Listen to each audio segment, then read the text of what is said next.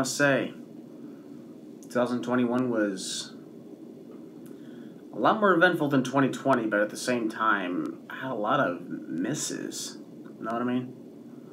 What's up, everybody? It's Christian Maracle, and um, this is actually a video of me reflecting on my 2021. Looking back on it as we head into 2022. Happy New Year, everybody. Uh, as you see, I'm not home right now. I'm actually in Niagara Falls. Fantastic hotel here in Niagara Falls. It's my favorite getaway spot. This is the second time I've been here this year, actually. And I. I haven't been here for New Year's festivities since 2016, actually. 2015, 2016. And it was great for that. I had a great time with that. It was awesome. And then two weeks later, my optimistic empire came into my life. So, who knows what 2022 will bring me? Um, I thought I'd also look back on this, and I want also want to get your thoughts. I want to see you guys type in the comments what you felt was the best and worst parts for you in your life in 2021, because I'm all about sharing. You know me. Uh, what I, how do I start this off? I guess we start all the way back to January. Back in January, um, when 2021 began, I'm up here in Toronto. Um, unfortunately, I started off the year in a lockdown. Everybody, everywhere in Canada was locked down. You know, there was a lot of COVID was running rap, rampant. Not as much as it is right now, actually. As a matter of fact, it's three times worse now. If you look on the records, uh, we're getting a shit ton of COVID cases every single day, from 40 to 50,000. And speaking of, um, as of this moment right now, Mama Maracle actually tested positive for COVID 19. Over the course of the holidays, my brother also did. And I was isolated in my house for the longest time, for the entirety of Christmas. So I didn't get to see my family. I didn't get to exchange gifts. I didn't. I didn't get to. I had to enjoy a turkey dinner by myself. That's just sad. But going back to January, started things off in a lockdown. But thankfully, you know, Disney Plus happened. You know, Disney Plus was go- was a thing. Thus, Marvel started releasing their shows like WandaVision, which started in January. But the other thing that really kicked off January is a trip to the emergency room. I was hospitalized for a couple of days when this year began because I was suffering from really bad uh, chest pains and breathing difficulties. Thankfully, none of them related to COVID. Uh, but when I finally got told that I was okay, everything was all right, for whatever reason, things just started calming down for me. I think that's just what I needed to hear. And I remember throughout January, I set up a new schedule. I was actually getting up extra early every morning, and it was weird. But as a result of getting up extra early every morning and doing a daily routine, I ended up making a lot of a lot of content. Uh, all of a, I went from you know struggling to make a WWE sins video to all of a sudden finishing a WWE sins videos in a couple days, and then I realized about a week later, oh my god, I just finished like three weeks worth of content here. Okay, we're on a groove now. Let's get this going.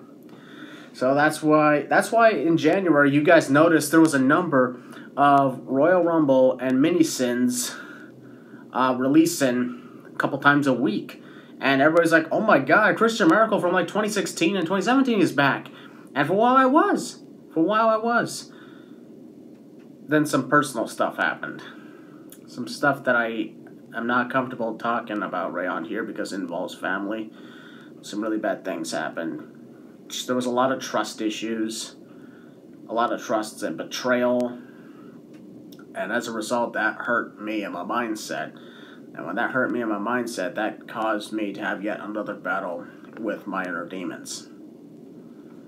So, uh, that ended up ruining a lot of things. It just goes to show that, you know, family stuff happens. Personal life matters are unpredictable. It got to the point where 2021 was, without a doubt, a horrible year for me and for you guys. And for that, I'm personally sorry. I mean, I, I took a lot of breaks. I took a lot of breaks. There was actually a few moments this year where I actually was in good mental condition, but I didn't make the content because my mindset wasn't into it. And the reason for that is because I'm I spent a lot of time on social media this year in which uh, a lot of toxicity kept happening, whether it was people being toxic to me or vice versa, me being toxic to them. And it was uh, pretty rough. Uh, but things got a little better when WrestleMania week happened on my birthday. Um, I was a little sick when it happened, but I had a great time. Had my own personal ice cream cake created by Dairy Queen. Haven't done that in a few years, so it was awesome to get to do that again. Enjoyed the entirety of WrestleMania week, including like Hall of Fame, uh, two nights of NXT Takeover, NXT UK Prelude, the SmackDown prior to Mania, two nights of WrestleMania, which include the return of the fans temporarily, and the Raw after Mania, which sucked. and then there was some times where, for a month and a half after that, I actually stopped watching uh, WWE and AEW. I stopped watching wrestling for a while. That's another reason why I suddenly stopped making content was because I wanted to just take a break all from wrestling entirety entirely, not entirety. That's a sin on me. uh, I came back to it in May. Released the Sins, the Fastlane, the two nights of Takeover, and WrestleMania, and then WrestleMania Backlash. Got myself back on the groove for that. Um, throughout throughout the year, I enjoyed the Marvel series that was releasing. Like I mentioned, WandaVision. There was also Falcon and Winter Soldier and Loki. Mama Maracle and I, we enjoyed it very much because we enjoy the Marvel Cinematic Universe. We enjoy Star Wars as well. And we enjoy like the best thing about all that was, you know, I get to spend time with her, you know, away from everything else, away from everyone else. Sometimes that's just what we need. And that's what I did. then the summer came along. Not only did the fans return to wrestling and a lot of other things, other great things happen, but I also came back to Virginia to witness to see my brother Josh again. Uh, for the first time in over a year. As a matter of fact, it was one year and one day from the day where I last left Virginia. That was pretty funny. So I made a funny joke to him. I was like, okay, this is me picking up where we left off. You know, that'll work. Sorry about that. Uh, I had a great week with him. Had a great time to spend with his family. Celebrated his grandmother's birthday as well, so we had like a family gathering and it was so much fun. Not saying her rage on here because, well, that's personal information. But she still kind of whooped my ass and Josh's ass when we were playing cornhole. That's what it was. We were playing cornhole. And she had Josh and I sweating. That was fun. uh, in August, my parents from Vancouver suddenly showed up out of nowhere during SummerSlam weekend. So the fact that I got to reunite with my father, that honestly just brightened my day up. And when all that happened, I was like, everything's looking great again. We watched SummerSlam together. We enjoyed it. We enjoyed like seeing the. We got to see together like the arrivals of CM Punk in AEW, or Brock Lesnar returning in WWE. I also enjoyed John Cena's return in Money in the Bank. It was just amazing and for the first time in almost two years, you know, you felt like you felt like the life that you know we were living before is back in a way with some limitations. That's exactly what happened. Also in August, right after I returned from Virginia, I actually came over here to Niagara Falls. I spent in a, about a few days in a massive suite. I'm not in a suite right now. I'm in a, I'm in a regular hotel room because if you're here's the thing, folks. If you go to Niagara Falls during New Year's they up the prices on hotels. Trust me, they do. Whew. So, I was spending a few days in Niagara Falls in August. Um, had a good time. There's always a good time here because there's always something to do. Whether it's just hanging out at the falls, uh, hanging out over at Clifton Hill, or going somewhere else, go to a casino, or in my case, I went to that Falls View water park for the first time ever. I ended up climbing so many flights of stairs. But it was worth it because I had a fantastic time, and I'm appreciative of that. Then after the after the summer ended, um, I returned on the road again. I began what I call the "Feels Good to Be Back" tour. In September. You know, when I went to Chicago to attend my very first AEW event where I went to All Out. Technically, my first AEW event was Rampage, and it sucked ass, and people gave me flack for that. But I was like, if you look at that that edition of Rampage, it sucked. And when you watch Dark, that's a waste of time.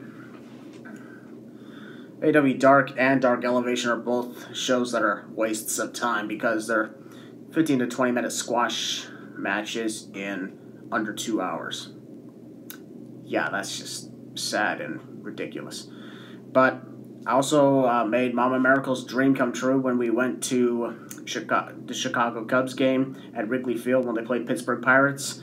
And thankfully, that weekend, both games were great. We attended the one on Saturday, September the 4th, and it was like like the Pirates were about to win the whole thing. Then all of a sudden, in like one single inning, the Cubs like whoosh, swapped everything around. It's like a Uno reverse card.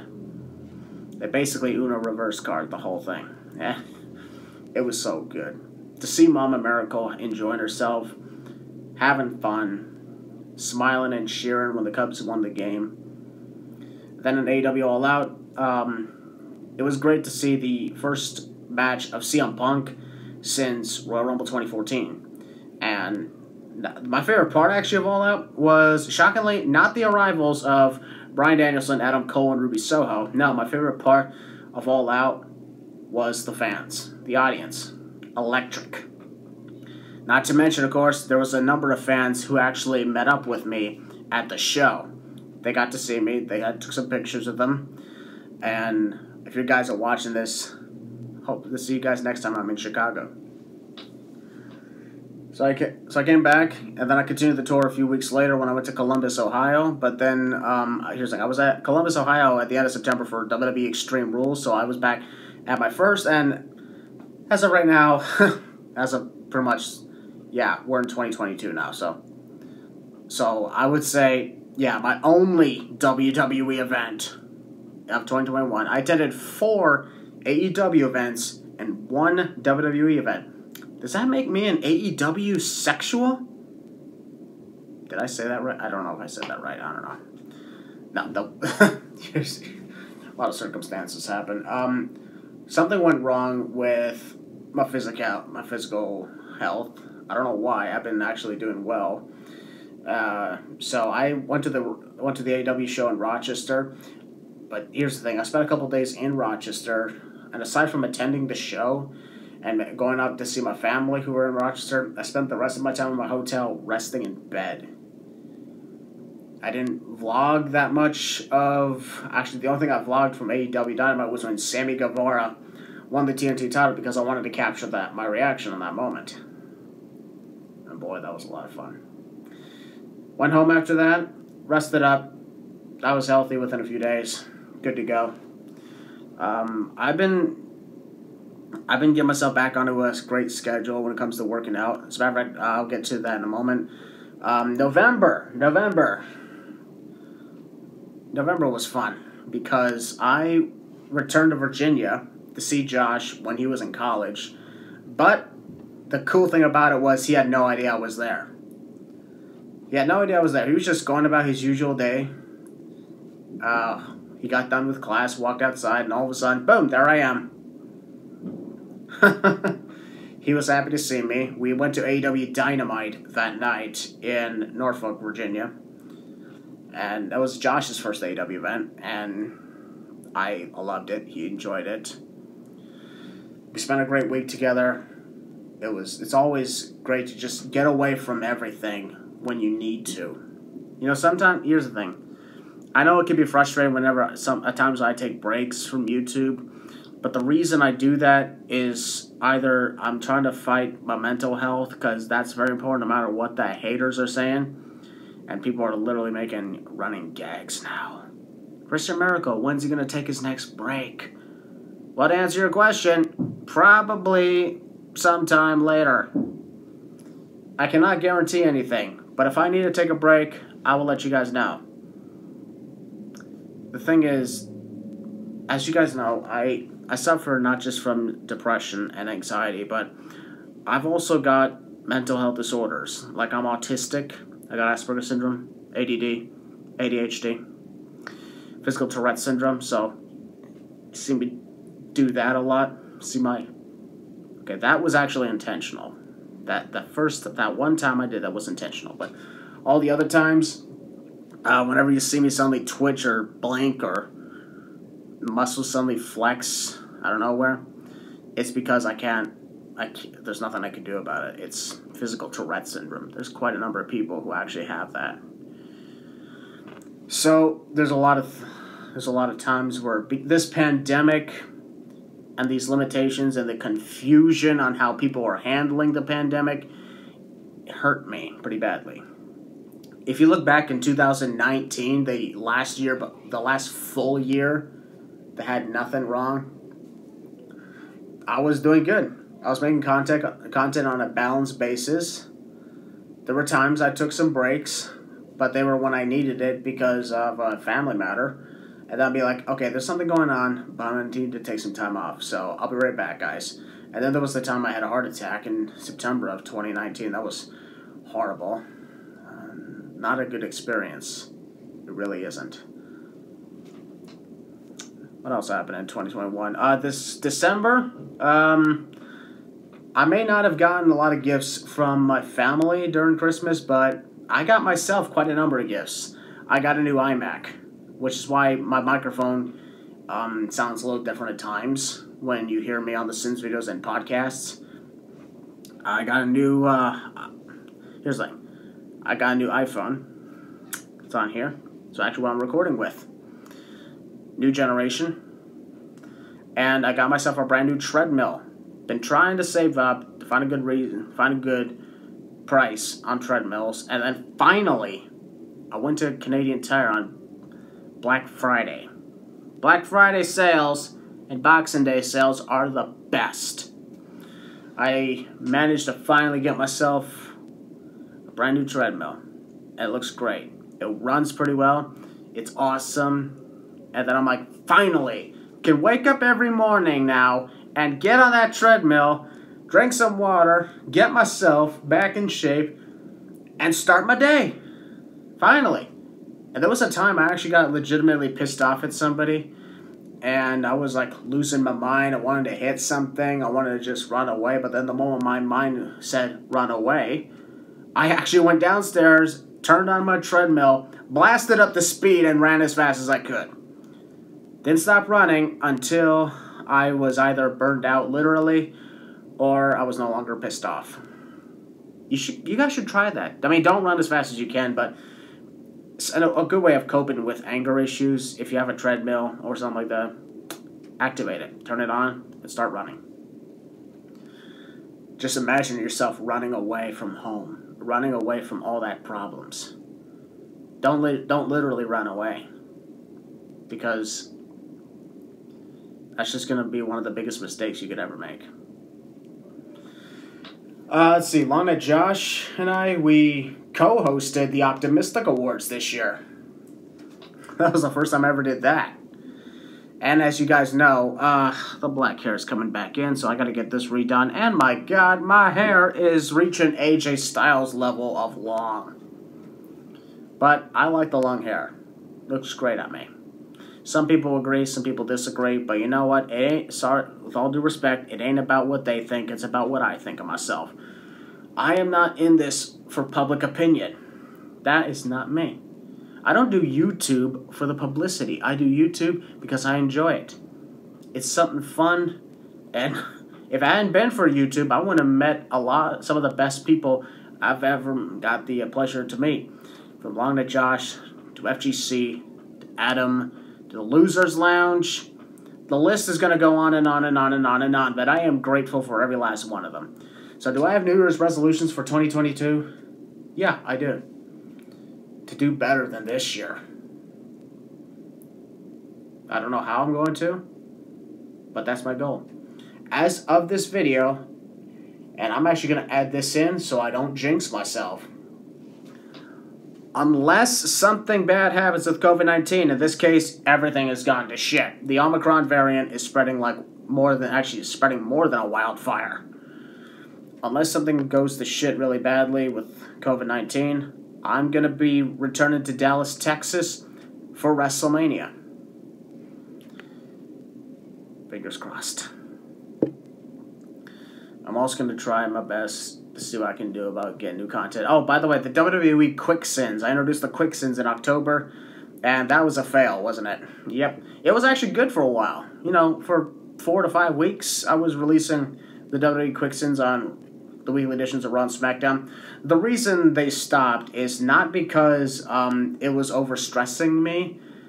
Actually, that kind of was the reason. But a big one, here's the big one. The WWE's, the WWE Quick Sins are canceled because there are just times I don't feel like watching Raw or SmackDown. Shockingly enough for that. People call me a WWE shill. But here's the thing. There are times I just don't feel like watching the shows. Matter of fact, I don't think I've watched Raw or SmackDown the last few weeks. So, there's that. So, this video was basically me reflecting on my 2021. And it was a long one. what did you guys think of your 2021? Did it live up to your expectations? Was it better than 2020 for you? Or was it worse? Whatever the case is, I really hope everyone is staying safe out there. Um, I don't know what 2022 is going to bring for me, personally, on, on a personal level. But throughout the year, I'm actually going to look through other options for other things. I'm not saying I'm quitting. I will never quit. But at the same time, I'm almost 26 years old, and I don't want to keep doing just YouTube forever you know, while I'm still wild and young, I want to try other things. Like, I want to explore. I want to maybe refulfill dreams. So I'm going to see what I can do about that. But in the meantime, I got some content for you guys. Working on it. Once I get back home, there's going to be a video releasing on Monday, the next WWE Sins. Um, enjoy WWE Day 1 tonight. And do not forget to be optimistic show your optimism, and think optimistically. Oh shit, I forgot to put my hat. Oh well. I'm Christian Maracle, voice of Cinema Since 2 Expansion, former commentator of FGC Wrestling, which hasn't been a thing in five years now. um, host, co-host of the Losers Lounge podcast, leader of the Optimistic Empire, or should I say, emperor of the Optimistic Empire. And you are the Optimistic Empire, the best fans in the world. Why the hell did that make me nostalgic? There's a lot of things that made me nostalgic, but Happy New Year, everyone. And here's the hope that 2022 will be much better than 2021. So, see you later, everyone.